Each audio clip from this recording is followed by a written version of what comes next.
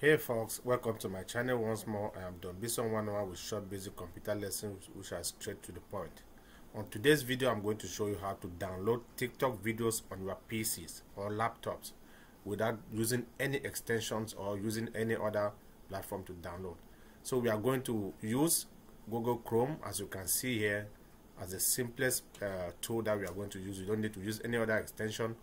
When you go to Chrome, just type tiktok.com and then you sign in into your account. As you can see here right here you are going to see tiktok.com and then when you open your your account on tiktok just browse any video that you see that you like. Like this video i want to download this video on my desktop or on my pc i don't need any other extension you just go to the video. You select the video. As you can see you right click on the video. When you right click on the video you are going to see download video send to friends copy link picture so we are going to download it. Just click on other videos or other pictures you are going to see or other uh, platform or on other computers you are going to see. Save video as you can still save the video.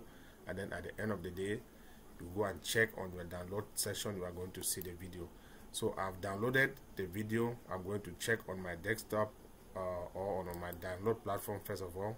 This is the video as you can see which I was looking at, and then you down, you open the video now, and you can watch, you can watch it as just you were watching it at, on TikTok. So this is how you actually download uh, TikTok videos on your PCs or laptops with Don Besong 101 short and simple. I hope this video helps you. Please give it a thumbs up. I am back again with short basic computer lessons which are straight to the point, easy and fast to go. Thank you for tuning in. I love you and I hope to see you next time. Don't forget to recommend, don't forget to share, don't forget to